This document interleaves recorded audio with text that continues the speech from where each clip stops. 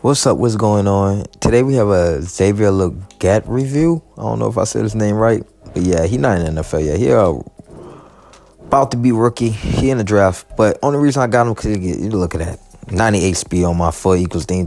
That is ridiculous. Just for a what a 93 overall, yeah.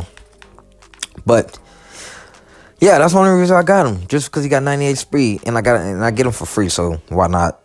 But I throw it to my tight ends all the time. Y'all see my right here, my tight end list. All tight ends. Rob Sleeves don't do nothing. But yeah, not 50 out of 50 was team, Eagles team team. That is pretty dope.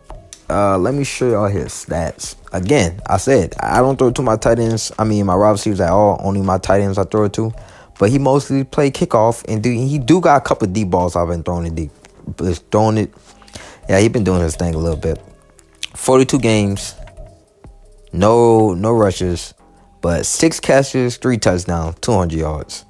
His longest play was 69 yards. Yeah, yeah, I told you I've been throwing the ball deep all the time, but he do got a kickoff return, and I like it. Like he, he was killing on my on a kickoff, but he no longer play my kickoff because I got a couple more people now.